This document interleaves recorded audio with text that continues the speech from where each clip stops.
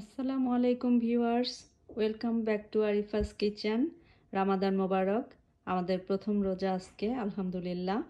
তো আজকে আমি আপনাদের কাছে চলে এসেছি একটি খুবই সুস্বাদু নতুন একটা রেসিপি নিয়ে। আমার রেসিপির নাম হচ্ছে চিকেন চিজ চিকেন বক্স। তো চিজ চিকেন বক্সটি আপনারা ইফতারের আইটেম হিসেবে বাসায় রাখতে পারেন, এটা বাচ্চারা, বড়রা সবাই খুব পছন্দ করবে। আপনারা বাসায় অবশ্যই বানিয়ে দেখবেন। এটি না বানালে বুঝবেন না আসলে কতটা মজাদার, কতটা সুস্বাদুর। তো চলেন আজকে আমরা চলে যাই মূল রান্নায়। প্রথমে আমি হাঁড়িতে এক কাপ পানি দিয়ে পানিটা গরম হলে চিকেনগুলো এইভাবে দিয়ে দিলাম। তারপর এখানে দিয়ে দিচ্ছি এক টেবিল চামচ আদা রসুন পেস্ট। তারপর দিয়ে দিব ছোট দুই টুকরো দারচিনি, তারপর স্বাদ মতো একটু লবণ দিয়ে এটাকে আমি সিদ্ধ করে নেব।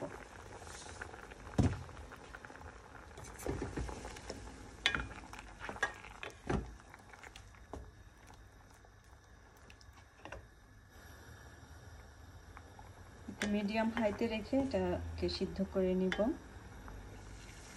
আমার চিকেনটি বয়েল হয়ে গিয়েছে। এই পর্যায়ে আমি চিকেনগুলো তুলে নিব। চুলাটা অফ করে দিব। আর স্টক যেগুলো রয়ে গিয়েছে স্টকটা আমরা পরে আবার ইউজ করে নিব।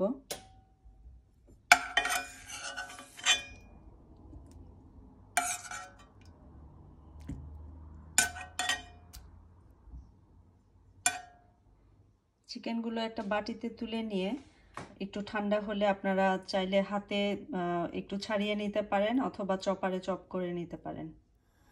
এখন আমি চুলাতে একটি ফ্রাই ফ্রাইং প্যান বসিয়ে এখানে আমি কিছুটা অলিভ অয়েল দিয়ে দিব। আপনারা যে কোনো তেল ইউজ করতে পারেন।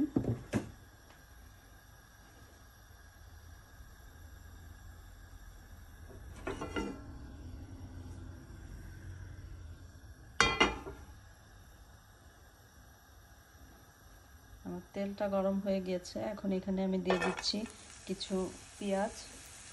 একটু ছোট কুচি করে কাটা।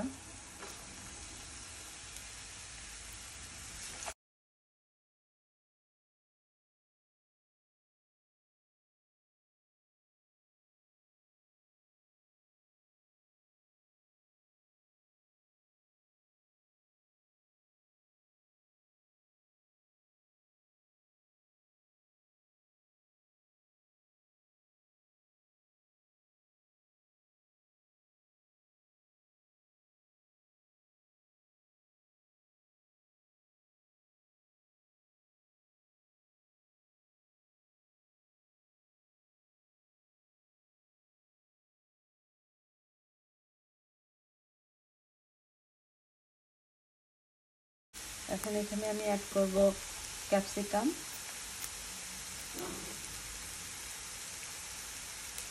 আমি রেড আর ইয়েলো দিচ্ছি, আপনারা যে কোনো কালার নিয়ে নিতে পারেন।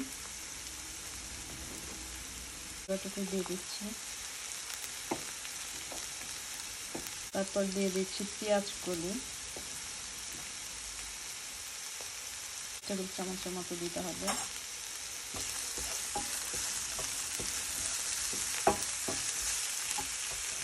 এই পর্যায়ে চুলার আঁচটি একদম একদম লোতে থাকবে।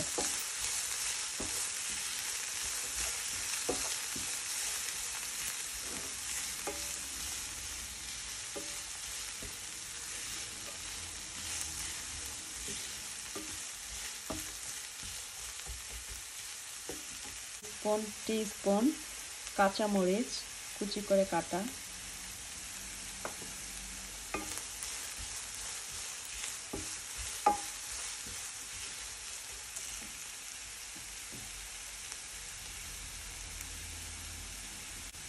এখানে আমি হাফ টিস্পুন মতো সল্ট দিয়ে দিচ্ছি।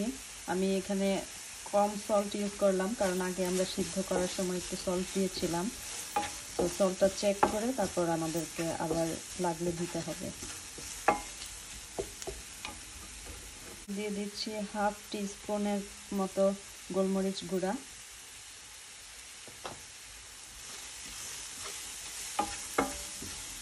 তারপর এখানে অ্যাড করছি মিক্সড হার্বস। আপনাদের কাছে এটা না থাকলে আপনারা অরেগানো ইউজ করতে পারেন।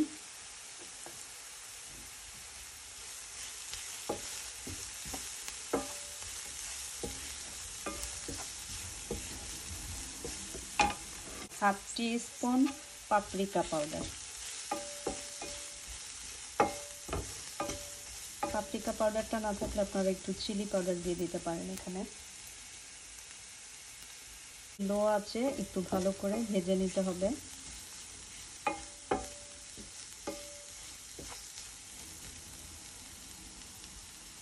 তারপর আমি এখানে দিয়ে দিব one tablespoon all purpose flour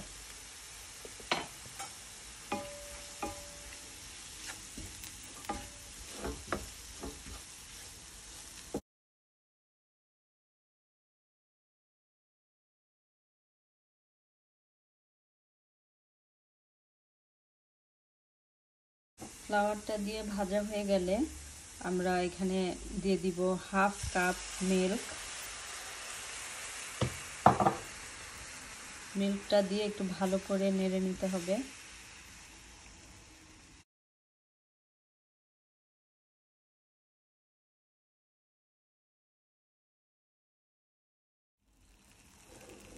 তারপর এখানে অ্যাড করব, আমরা যে চিকেনটি সিদ্ধ করেছিলাম, সেটার যে স্টকটা রয়ে গিয়েছিল, সেটা আমরা এখানে অ্যাড করে দিচ্ছি।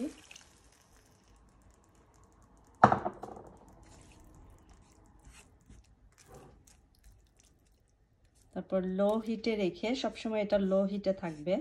লোতে রেখে আমরা একটু ভালো মতো এটাকে মিশিয়ে নিব, একটু রান্না করে নিব। সব উপকরণ ভালো করে মিলিয়ে এভাবে দেখেন এ পর্যায়ে নিয়ে আসতে হবে। কনসিস্টেন্সিটা এরকম হবে। অনেকটাই ঠিক থাকবে। এ পর্যায়ে আমি চুলাটি অফ করে দিচ্ছি। এখন আমি চুলাটি আবারও একটু অন করে লো হিটে রেখে দিব। দিয়ে এটার সাথে চিকেনগুলো আমি এভাবে হাতে ছাড়িয়ে নিয়েছি। এখন এটার সাথে অ্যাড করে দিচ্ছি। চিকেনটা দেওয়ার পরে জাস্ট ওয়ান মিনিট একটু ভালো করে নেড়ে চেড়ে আমরা চুলার আঁচটা, চুলাটা অফ করে দিয়েছি। তো তৈরি হয়ে গেল আমাদের ভিতরে দেওয়ার জন্য একটা পুর। এটা খুবই মজাদার ক্রিমি একটা পুর। চিকেন তো আমরা নর্মালি সবাই খুব পছন্দ করি। আমরা এশিয়ান স্টাইলে সবাই খেয়ে থাকি একটু ভাজা, ভুনা বেশি বেশি বাট এটা একটু ডিফারেন্ট ওয়েতে খেয়ে দেখবেন। বাসায় যদি বানিয়ে সবাইকে দেন, তাহলে বুঝতে পারবেন এটা আসলে কতটা মজাদার। এটা খুবই মজার।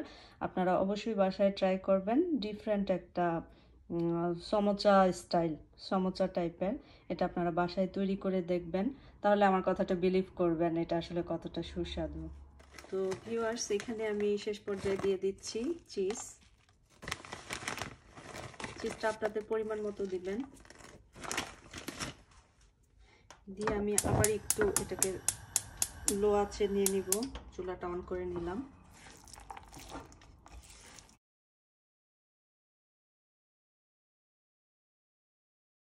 চিজটি আমরা দেওয়ার পরে আসলে চিজটি গলানোরও কোনো দরকার নেই। জাস্ট একটু মিক্স করে আমি এটাকে বাটিতে তুলে নিব। তো ভিউয়ার্স আমি এখানে নিয়ে নিয়েছি সমোচার যে শিটগুলো বাজারে কিনতে পাওয়া যায় সেটা। আপনারা চাইলে বাসায়ও এটা তৈরি করতে পারেন অথবা বাজার থেকে কিনে এটা তৈরি করবেন। তো আমি এটাতে আসলে কোনো কিছু বানাতে ভালো পারি না। আমি ট্রাই করছি কিছু একটা করার।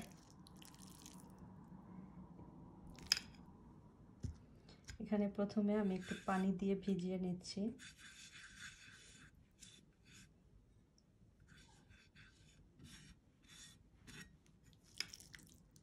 তারপর এখানে দিয়ে দিচ্ছি সেই পুরটি।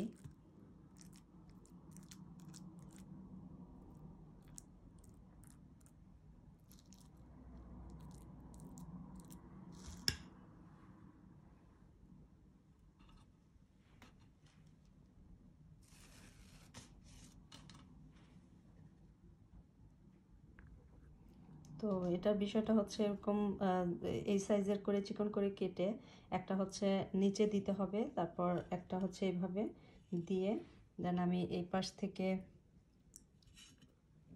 এটাকে ভাজ করে এখানে নিয়ে আসব।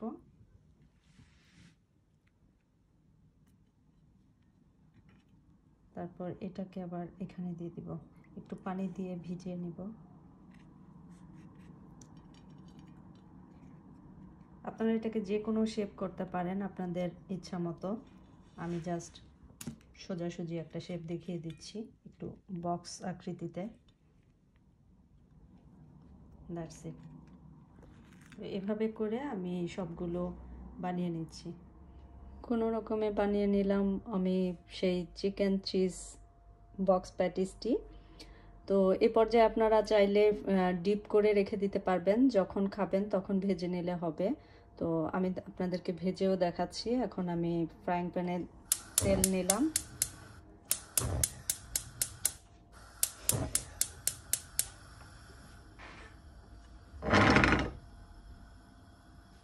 তেলটি গরম হওয়া পর্যন্ত ওয়েট করব। এখন একটা দিয়ে দেখি আসলে তেলটা গরম হয়েছে নাকি।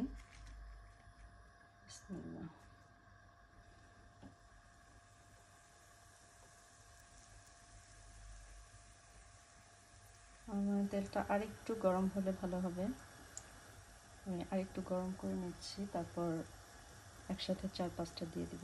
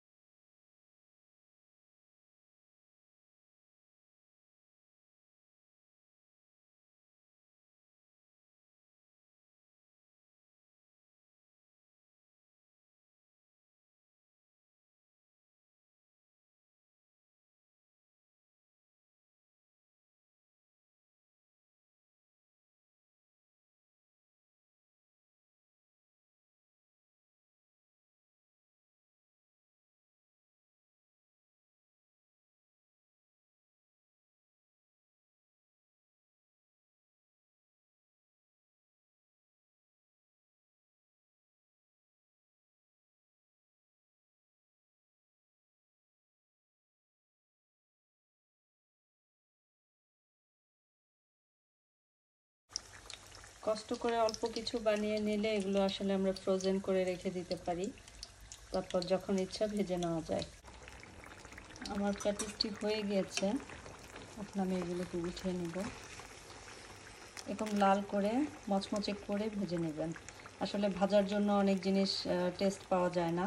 এটাকে যদি অল্প ভেজে নেয় ভিতরের জিনিসটা যতই মজা হোক, ভাজাটা ভালো না হলে খেতে মজা লাগে না।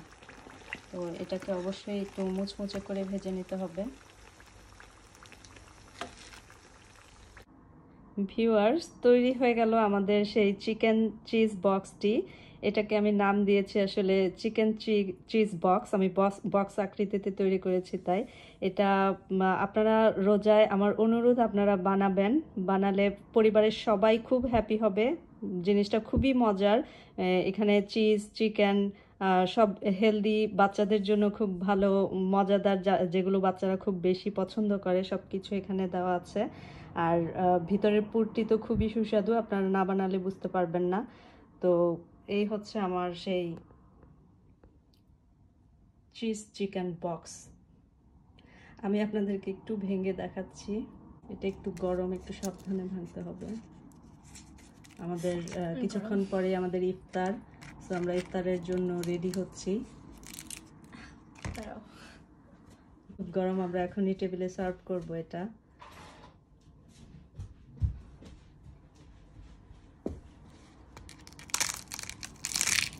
নট লাইক দ্যাট আমাকে দাও। ধরো তুমি। এটা আসলেই খুব গরম সেজন্য ভাঙা যাচ্ছে না। দেখেন। খুবই মজার, খুব সুস্বাদু। আপনারা বানিয়ে দেখবেন। তো ভিউয়ার্স এটাই ছিল আজকে আমার থার্ড রেসিপি থার্ড রোজার রামাদান রেসিপি তো ভালো লাগলে আপনারা অবশ্যই বানিয়ে খাবেন এবং আমাকে কমেন্টস করতে ভুলবেন না। আমাকে যারা সাবস্ক্রাইব করেননি সাবস্ক্রাইব করবেন প্লিজ এবং লাইক দিবেন লাইক বাটনে লাইক দিবেন আর বেল বাটনে ক্লিক করে রাখবেন যেন আমার নেক্সট ভিডিওটি আপনাদের কাছে সরাসরি চলে যায়। তো অবশ্যই আপনারা খুব বেশি ভালো থাকবেন, আমাদের জন্য দোয়া করবেন। সবাই সুস্থ থাকেন, সুন্দর থাকেন। আল্লাহ হাফিজ, আসসালামু আলাইকুম।